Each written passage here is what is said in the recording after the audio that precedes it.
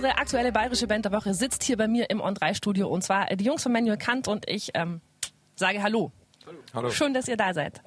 Ähm, wir in der Musikredaktion haben schon seit äh, ungefähr gefühlten zwei Jahren äh, ganz oft über euch gesprochen und haben immer wieder Sachen von euch angehört und dann kam immer dieses schlimme Argument, ah, das ist noch nicht so weit, das ist aber geil. Ähm, wir brauchen von denen irgendwie, wir brauchen was, was nach Album klingt, was nach Studioaufnahme klingt und hatten gedacht, da kommt irgendwann so eine, eine schüchterne kleine EP ums Eck. Stattdessen auf dicke Hose gemacht, nach Berlin gezogen, Album rausgeballert, Plattendeal. Das war alles doch ein krasser Masterplan, um uns alle ähm, zu foppen. Masterplan haben wir nie gehabt. Da, und äh, aber auch nicht über Nacht passiert. Das hat sich schon so ein gutes Zeitchen hingezogen. Ähm, sicher ein Jahr oder so.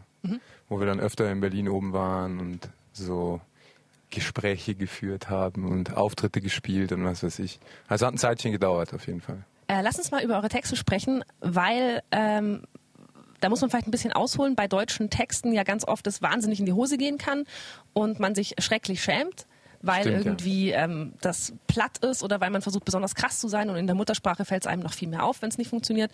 Ähm, bei euch ist es tatsächlich und Gott sei Dank nicht so, weil ihr wie ich finde, echt eine coole Kombination hinbekommt aus eigentlich so diesen breitbeinigen, so ein bisschen Macker Rock'n'Roll-Klischees, die ich ganz geil finde, die aber gebrochen werden und äh, die kombiniert sind äh, mit äh, durchaus äh, feinsinnigem Wortwitz und äh, klugen Beobachtungen. Also Rock'n'Roll-Klischees auf der einen Seite irgendwie Saufen, Weiber, äh, Drogen und so weiter und das trifft dann ähm, auf eine ganz große Sensibilität, möchte ich schon fast sagen. Vielen Dank, ja. Das, Das ist ist- sehr gut erkannt. Absolut.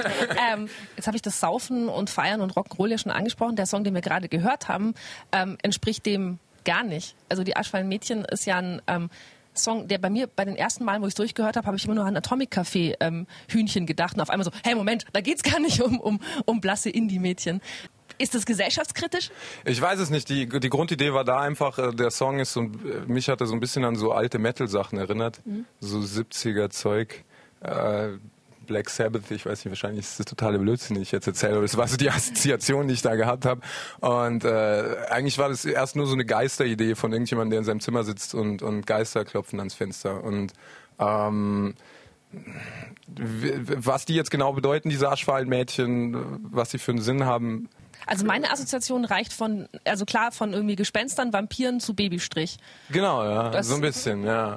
Auch so viel Pubertät steckt drin, so äh, ähm, das, was die Eltern gerne von einem fernhalten würden, wenn es denn ans äh, an die Adoleszenz geht irgendwie.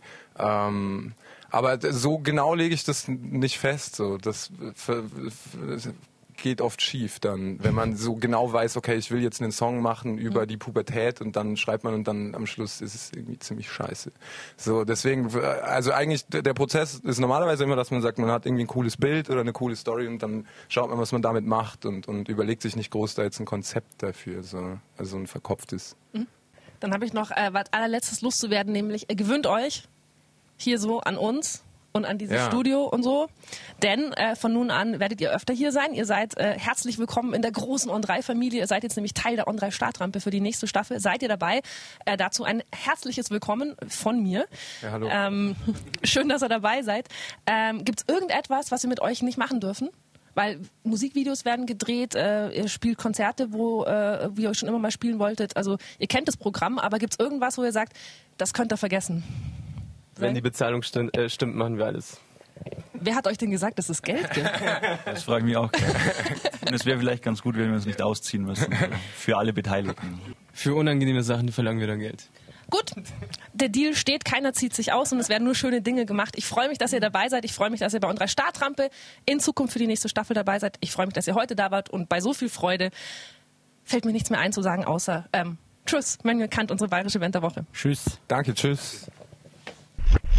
Thank you.